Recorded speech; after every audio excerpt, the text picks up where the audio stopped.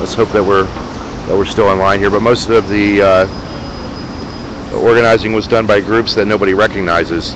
Hmm, Black Bloc, right? Think of Black Bloc. So it's a beautiful night out here in uh, D.C. And uh, just to let you know that it's me, here I am. Um, I'm not using my normal uh, 4G connection. I'm using my, I've uh, just got this hotspot from Clear, it's WiMAX, and I'm checking it out and seeing how it works. And that's kind of why I'm broadcasting tonight. And other than that, we're sitting here, we're waiting for the bus up to Manhattan. We're going to be uh, in New York tomorrow morning, and uh, which I'm looking forward to, uh, being in New York. And, uh, and we'll take it from there. I have a television studio to work out of on 57th Street, so I'm looking forward to that. Um, and I'm leaving actually a day earlier. I would like another day here in Washington, but uh,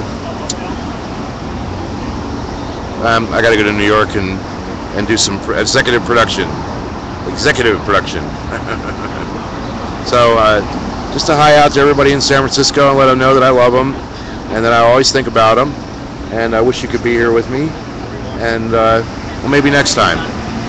Anyway, I'm going to sign off, and I'll be back tomorrow on my Ustream channel, and you can check in. It's ustre dot am slash capital N little u or little h little u capital D, and uh, keep checking because uh, tomorrow I plan on being online, and uh, we'll give you another report about what's going on, and hopefully um, Mr. Halil will be. Uh, he's kind of tired right now, or else I'd have him on camera but he's a little tired, so uh, we'll wait till tomorrow, and he can give you the update about what's going on in Cairo.